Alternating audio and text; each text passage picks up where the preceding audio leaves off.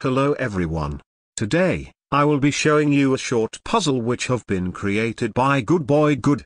Join the CJX Chess 17's server in the description to participate in the next contest. This puzzle is the winner of the first one, brilliant defensive move who win.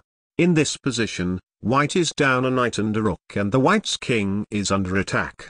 But in compensation, the h-file is completely open. Notice that if black trade a piece, white cannot do better than bishop h7 and e4 check with a perpetual. That is why the only move to win is the brilliant bonk cloud move king to e2. But why? First, king f1 allows knight e3 check with a fork. King f2 allows queen takes d4 check and queen takes d1. And king d2 again allows queen takes d4. But there is no problem with king e2, and after black plays bishop takes c4 check, cover the check with the bishop allows black to trade a piece.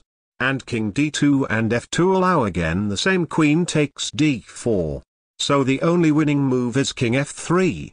And after bishop to e2 check queen takes bishop queen takes d4, white must take the free knight. Black can only delay the mate by sacrificing his queen on d2 and after queen takes rook takes before queen back to e2. Black again sacrifice his rook and after bishop h7 check and c2 discover check to block the pin. This is a simple mate in 3 with rook h8 check king takes h8 queen h5 check king g8 and queen h7 checkmate. I hope you enjoy this easy puzzle. Like and subscribe to support us. If you want to suggest some other brilliant chess puzzles, contact us on Discord in the description of the video, and, See you in the next one.